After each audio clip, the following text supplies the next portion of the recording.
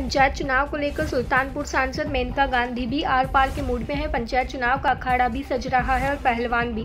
ऐसे में बड़ी सियासत करने वाले भी मैदान में आ रहे हैं। सुल्तानपुर का चर्चित इलाका है दनपतगंज, जहाँ पूर्व विधायक चंद्रभद्र सिंह सोनू और उनके बाहुबली भाई यशभद्र सिंह मोनू का तूती बोलती है। विरोधी आरोप लगाते हैं कि सोनू मोनू दबंगई से जलवा बिखेरते हैं। शायद यही वजह है कि दोनों भाइयों में तिलिस्म को तोड़ने के लिए भाजपा सांसद मेनका गांधी खुद मोर्चे पर आ गई है। सुल्तानपुर दौरे पर आई मेनका गांधी ने धनपतगंज और पंचायत चुनाव को लेकर क्या कुछ कहा, आपको सुनाते हैं। जो जिला परिषद में खड़ा होता पार्टी की तरफ़ से पार्टी के समर्थन से मैं उसके लिए गाँव गाँव में जाकर के मैं खुद बात करूँगी।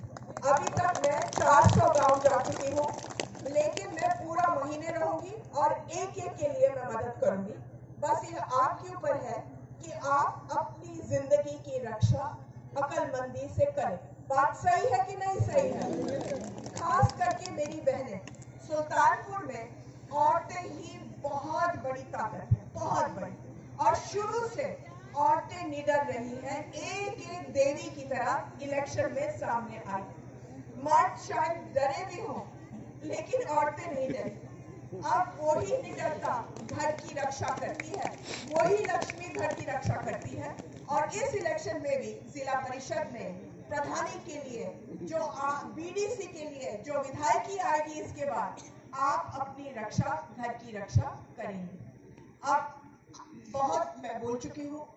मैं फिर से आपका धन्यवाद करती हूँ। आज बहुत ठंड है। मैं आपको एक चीज़ बताना चाहती हूँ। मैं हर पंद्रह दिन आती हूँ।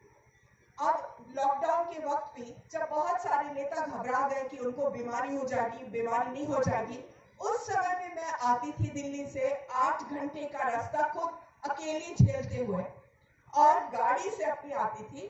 मैं हर पंचायत में जाकर के उस समय हर ब्लॉक ब्लॉक मुख्यालय में जाकर के लोगों को बुला बुला करके जिस जिस को भी दरख्वास्त दे रहा था उसी वक्त हम लोग हाथों हाथ उनका समाधान करते थे।